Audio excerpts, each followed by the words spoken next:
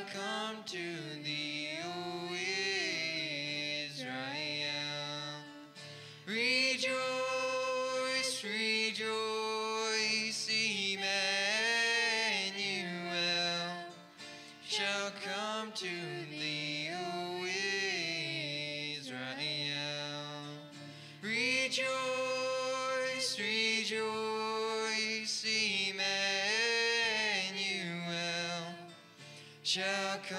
to thee, O Israel. In the name of the Father, and of the Son, and of the Holy Spirit, the grace of our Lord Jesus Christ, the love of God, and the peace of the Holy Spirit be with you all. My friends, welcome to our celebration. Welcome those who are viewing at home tonight as we pray together, celebrating the fourth week of the Advent season. Time passes by very quickly, so we have lit our fourth candle, and indeed we celebrate God's coming to our world in the person of our God, Jesus Christ.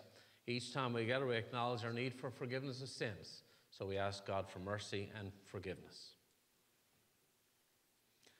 Lord Jesus, you are light in darkness. Lord, have mercy. Christ Jesus, to the words of today's gospel, Mary is chosen to be the vessel to bring Christ to our world, one who is pure of heart. Christ, have mercy. Lord Jesus, as we honor and give praise to you during this Advent season, make ready your way by purifying us of our sins and allowing us to be Christ like to others. Lord, have mercy. And may Almighty God have mercy on us, forgive us our sins, and bring us to everlasting life. Let us pray.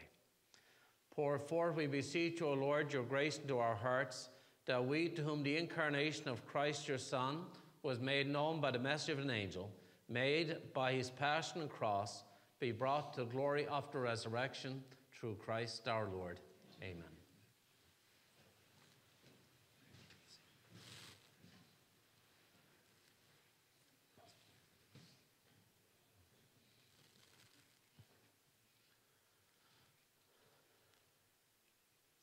A reading from the second book of Samuel. Now, when David the king was settled in his house, and the Lord had given him rest from all his enemies around him, the king said to the prophet Nathan, See now, I am living in a house of cedar, but the ark of God stays in a tent. Nathan said to the king, Go, do all that you have in mind, for the Lord is with you. But that same night, the word of the Lord came to Nathan Go and tell my servant David, Thus says the Lord, Are you the one to build me a house to live in? I took you from the pasture, from following the sheep, to be prince over my people Israel. And I have been with you whenever you went, and I have cut off all your enemies from before you. And I will make for you a great name like the name of the great ones of the earth. And I will appoint a place for my people Israel, and will plant them, so that they may live in their own place and be disturbed no more. And evildoers shall afflict them no more, as formerly, from the time that I appointed judges over my people Israel. And I will give you rest from all your enemies. Moreover, the Lord declares to you, David, that the Lord will make you a house. When your days are fulfilled and you lie down from your ancestors, I will raise up your offspring after you, who shall come forth from your body, and I will establish his kingdom. I will be a father to him, and he shall be a your house and your kingdom shall be made sure forever before me. Your throne, David, shall be established forever. The word of the Lord. Thanks be to God.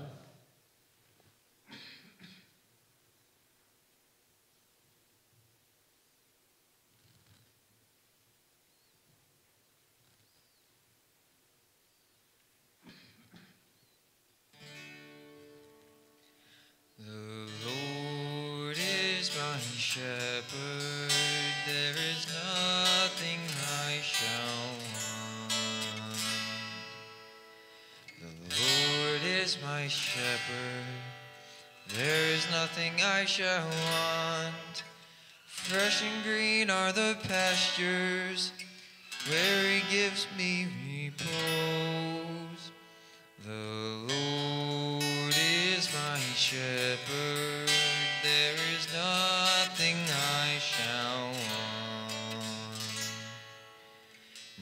Near restful waters he leads me to revive my drooping spirit. He guides me along the right path, he is true to his name.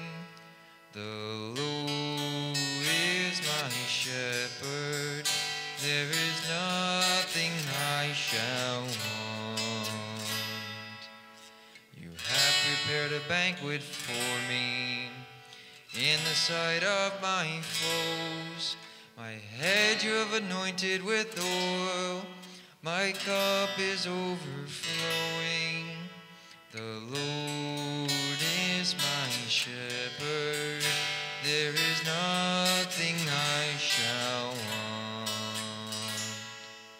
Surely goodness and kindness shall follow me all the days of my life. In the Lord's own house shall I dwell forever and ever.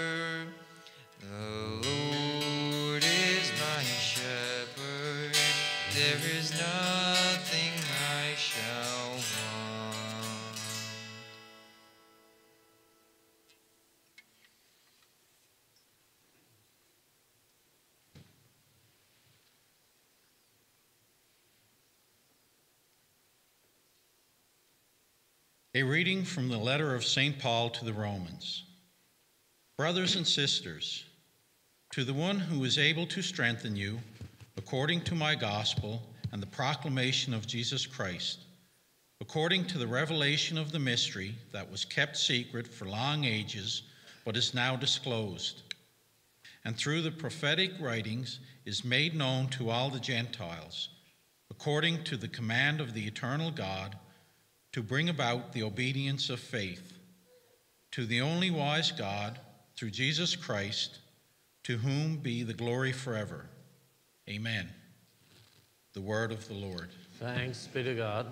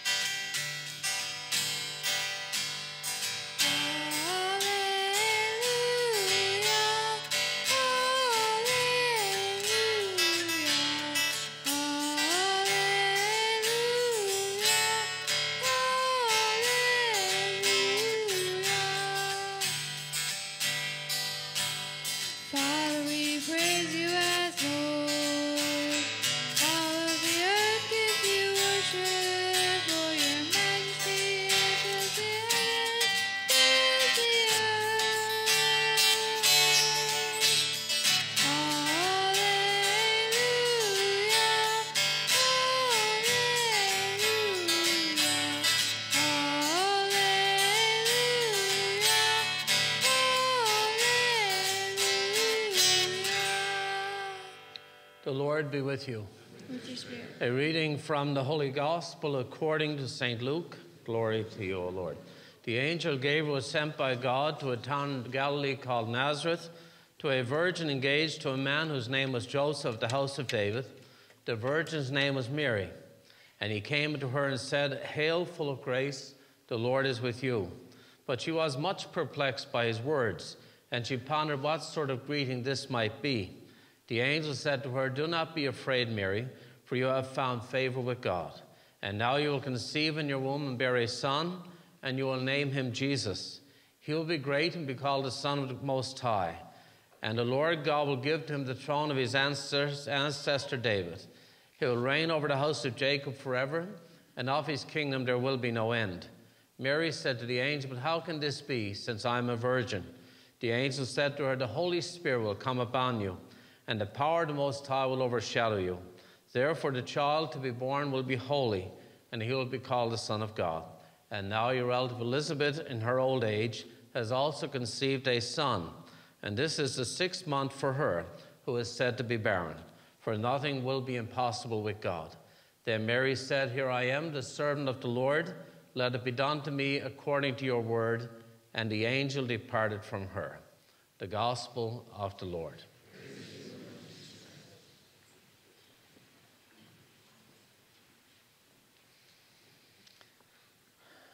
There is comfort in the fact of having a little baby with us. It's always exciting. The comfort is that this child brings the average age very low for us tonight because only a few months old. It is often said that every hero's story really begins when they leave home. The truth is that great things can happen when we move forward from our comfort zone of life. We leave home, go off to a future life, doing all kinds of activities, and all those experiences will help us realize that you and I can give generously, contribute much in making our world to be a better place. And so, in this, the fourth week of the Advent season, we see the great person of Mary, the Mother of the Lord. She leaves her comfort zone of Nazareth. She sets off to go to the rugged hills of Judah. And with a great heroic story, she begins the greatest story ever told. A story that is never old, but rather is a story that is always new, always fresh. And so it is in her story that we begin the great proclamation of the Christian church. It is because of Mary giving the blessing of this wonderful gift to our world that the world is changed and we anticipate the presence of God ever more vigorously present in our world each and every day. The two wonderful women of the day's gospel see Mary, highly favored, pure of heart. She rushes off to the town where her cousin Elizabeth is, and there they spend moments of conversation. But the miracle of God's love that is about to take place. And as I acknowledged before, there's a very beautiful insight by Pope Benedict XVI in describing the night's gospel. Benedict says that Mary, when she ran to Elizabeth, that was the first Eucharistic procession because the child was in her womb. So Mary flees off from her hometown of Nazareth and she goes to tell her cousin Elizabeth that I am to be, give birth to a child. He is to be called Emmanuel, says the angel. And so that was the Eucharistic procession. And then Pope Benedict says not only is the Eucharistic procession, but rather as Elizabeth greets Mary, she says, Why is this so why is this happening to me? And so Elizabeth, as Benedict says, she was the one that gave the first adoration, a kind of a holy hour, where she spent the time with Liz and Mary, rejoicing the gift of the Lord, Savior of the world. And so I guess as we celebrate the end of the final days of this Advent season, you and I are called to the reality of our mission, our ministry, that we leave home, the safety of our comfort zone. We leave home, then the work begins. And that is, like Mary, like Elizabeth, proclaim Christ Jesus, the one that is to come to our world. Indeed, Elizabeth is known as the great saint of patience. She is known as the saint of eternal waiting. And certainly during this Advent season, Elizabeth is also seen as the saint of the Advent times for she was the first she was the first to welcome Jesus Christ by welcoming his mother as she did that visitation. So she's truly sensed a miracle. And how does that happen to me, as she said?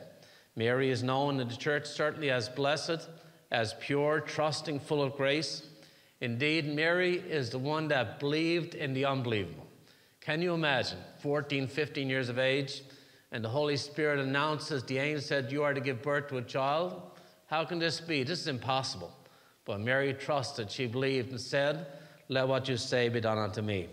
The miracle of God's love continues because we see it so evident during these days. As Vance mentioned at the beginning of Mass, the St. Vincent de Paul served over 200 families here in our parish, likewise at Mary Queen of the World.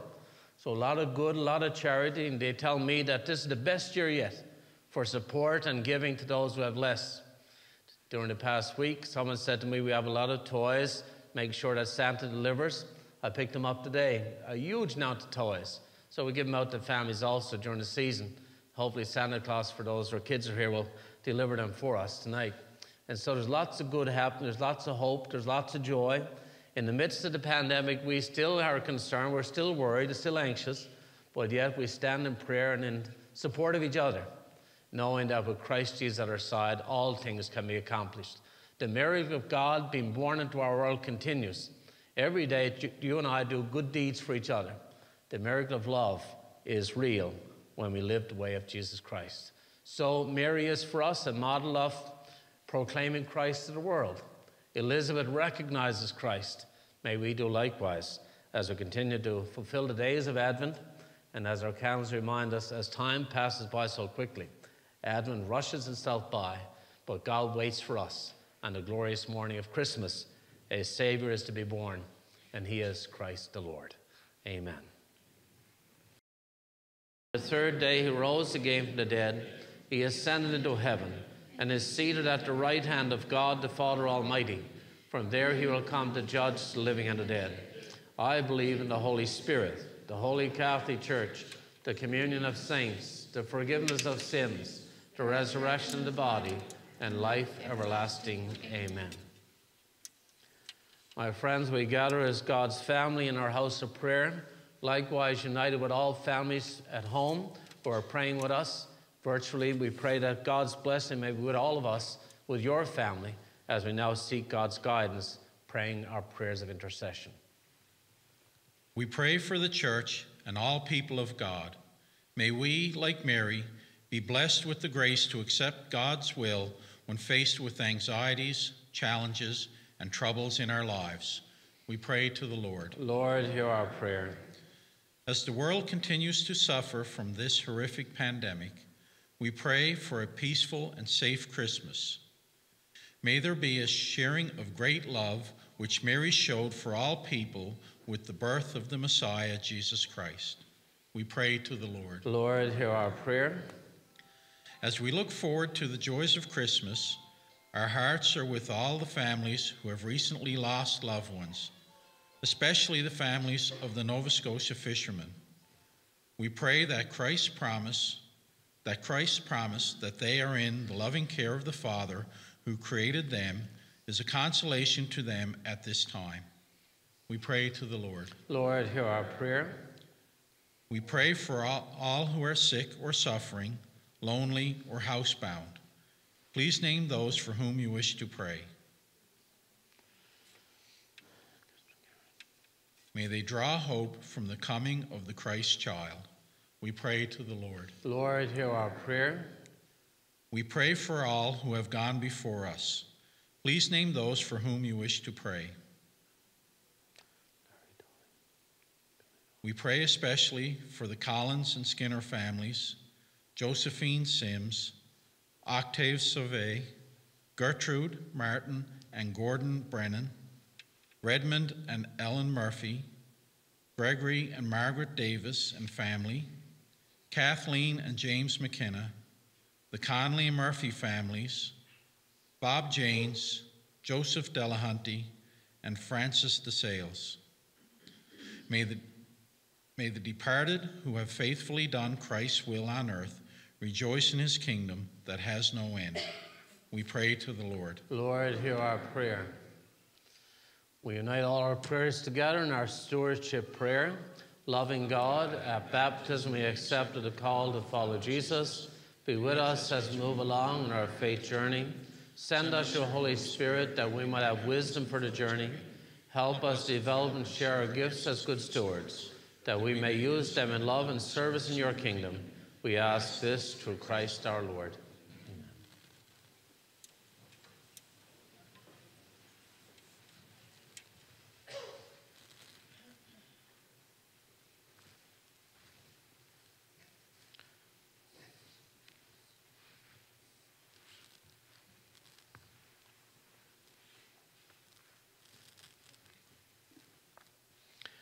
Blessed are you, Lord God of all creation. Through your goodness, we have bread to offer, which the earth has given, human hands have made. It will become for us the bread of life.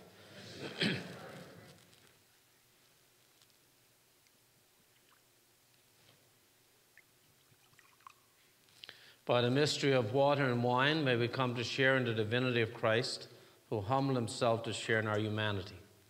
Blessed are you, Lord God of all creation. Through your goodness, we have wine to offer, fruit of the vine, the work of human hands. It will become for us our spiritual drink. Lord, wash away my iniquity and forgive me all of my sins. Pray, friends, that my sacrifice and yours may be acceptable to God, the Father, the Almighty.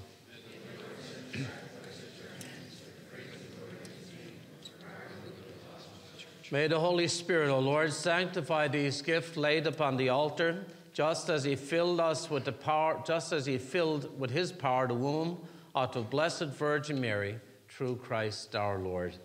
The Lord be with you. Lift up your hearts. Let us give thanks to the Lord our God. It is truly right and just, our duty and our salvation, always and everywhere to give you thanks, Lord, Holy Father, Almighty and Eternal God. For all the oracles of the prophets foretold him. The Virgin Mother longed for him with love beyond all telling. John the Baptist sang of his praises, and indeed proclaimed his presence when he came. It is by his gift that already we rejoice at the great mystery of his nativity, so that he may find us watchful in prayer, our hearts set with exultant praise. And so with angels and archangels, with thrones and dominions, with all the hosts and the powers of heaven, we sing the great hymn of glory, as without end we acclaim.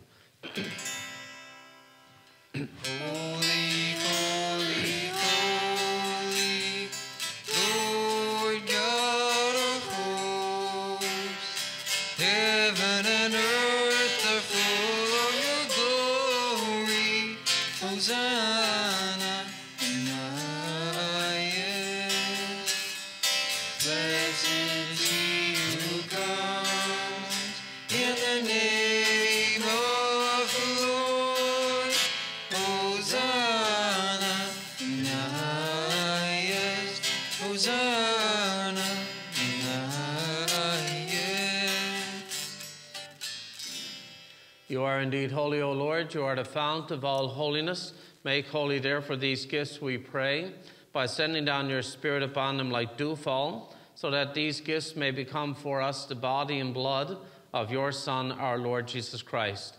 At the time he was betrayed and entered willingly into his passion, he took the bread and he gave you thanks and praise. He broke the bread, gave it to the disciples, saying, Take this, all of you, and eat of it, for this is my body, which will be given up for you.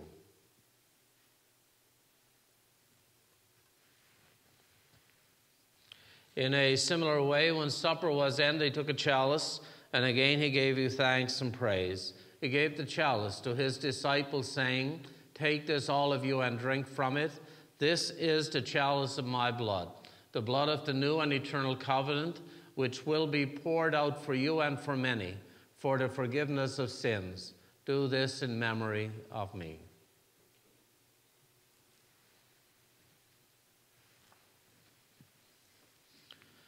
The mystery of faith. We proclaim your death, O Lord, and profess your resurrection until Uh, therefore, as we celebrate the memorial of his death and resurrection, we offer you, Lord, the bread of life and the chalice of salvation, giving thanks to God that you have held us worthy to be in your presence and minister to you.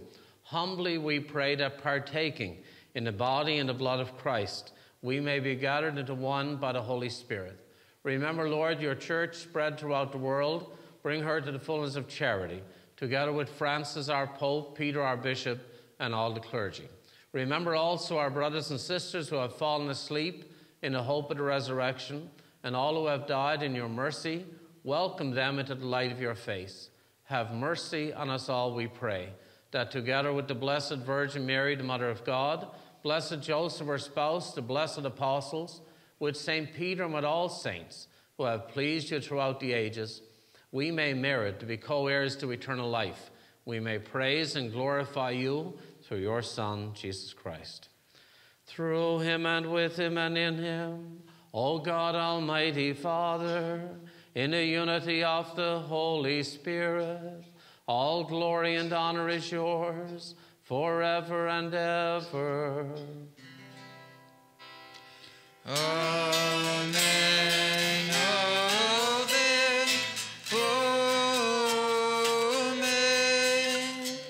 Seeking the intercession of Mary to lead us closer to our Son, Jesus Christ, we pray with the words that Jesus taught us. Our Father, who art in heaven, hallowed be thy name. Thy kingdom come, thy will be done on earth as it is in heaven. Give us this day our daily bread, and forgive us our trespasses, as we forgive those who trespass against us. And lead us not into temptation, but deliver us from evil. Amen. Deliver us, Lord, we pray, from every evil. Graciously grant peace in our days, that by the help of your mercy we may be always free from sin, safe from all distress, as we await the blessed hope and the coming of our Savior, Jesus Christ, for the kingdom. Lord Jesus Christ, you said to your apostles, Peace I leave you, my peace I give to you. Look not on our sins, but on the fate of your church. Graciously grant her peace and unity in accordance with your will, who live and reign forever and ever. May the peace of the Lord be always with you. We extend to each other virtually a sign of the peace of Christ.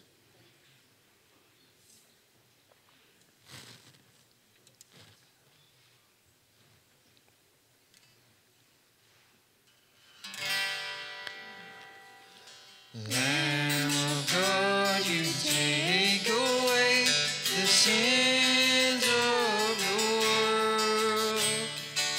mercy on us. Have mercy on us. Have mercy on Have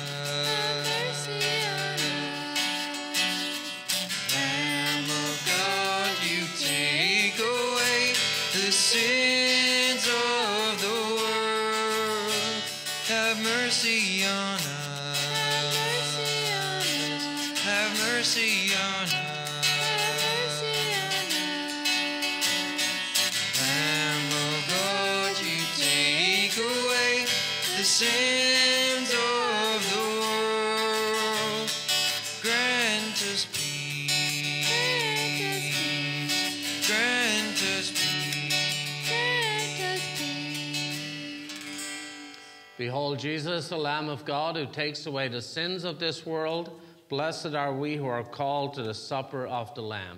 Lord, I am not worthy that you should enter under my roof, but only say the word, and my soul, the body of Christ.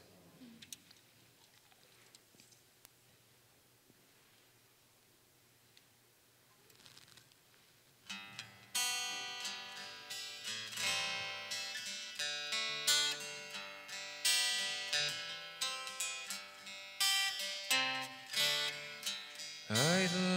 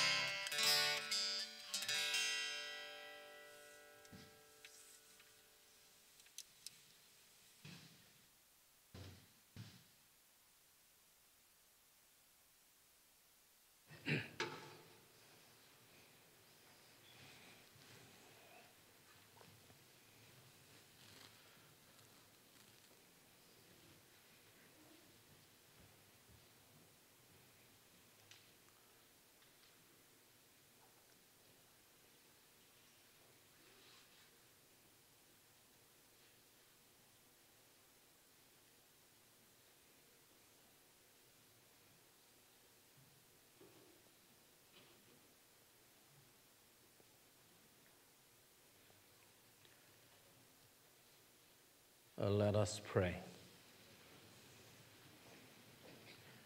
Having received this pledge of eternal redemption, we pray, Almighty God, that as the feast day of our salvation draws ever nearer, so we may press forward all more eagerly to the worthy celebration of the mystery of your Son's nativity, who lives and reigns forever and ever.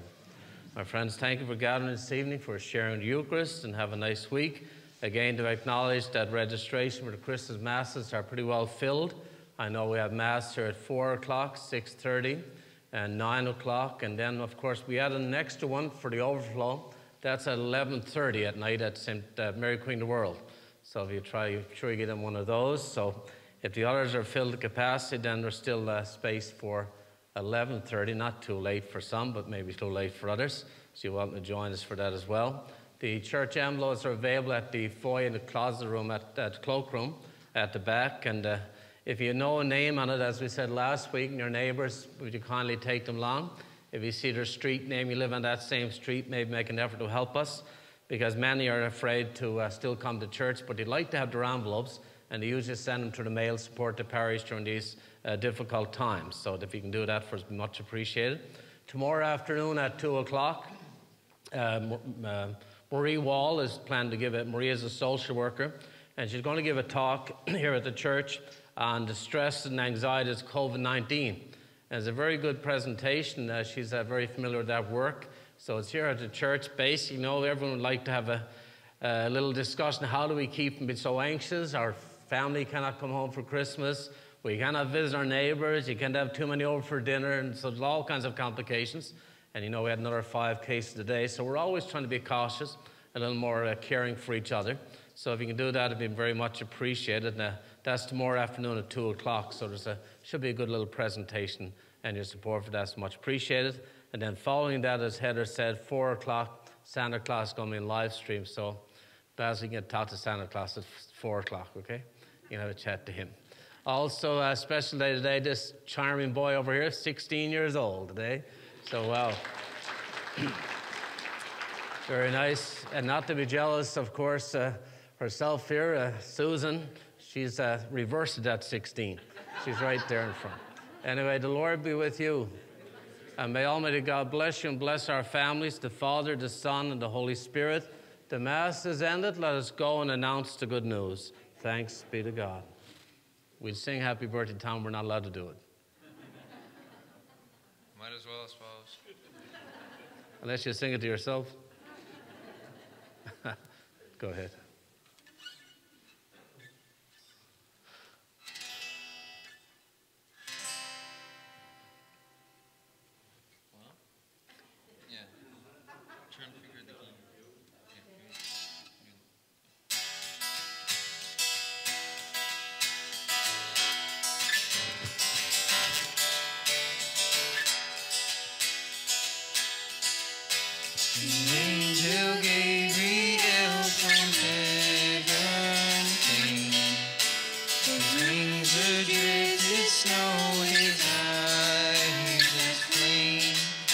Oh, Hill City,